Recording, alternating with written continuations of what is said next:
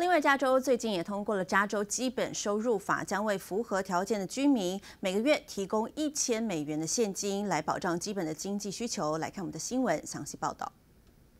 加州收入与税收委员会在四月二十六日通过了《加州基本收入法》AB 六五的草案。该草案由旧金山民主党参议员斯科特·维纳以及罗达伦所合写。并且得到全国社会工作者协会加州分会的支持，将提交众议会拨款委员会进入下一轮的讨论。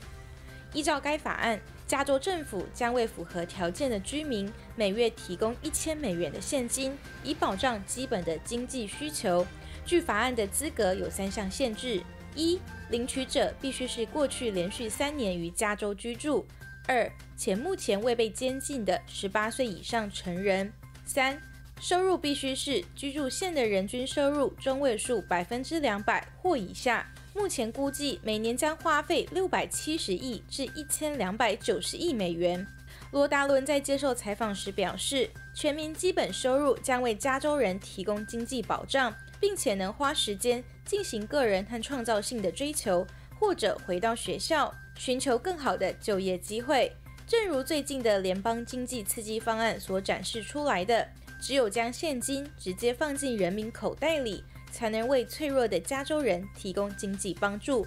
罗达伦指出，他的另一项提案 AB 一三三八也与基本收入有关，希望保护全民基本收入试点计划的参与者免被征收所得税，或被其他的公共福利计划排除。中天中望整理报道。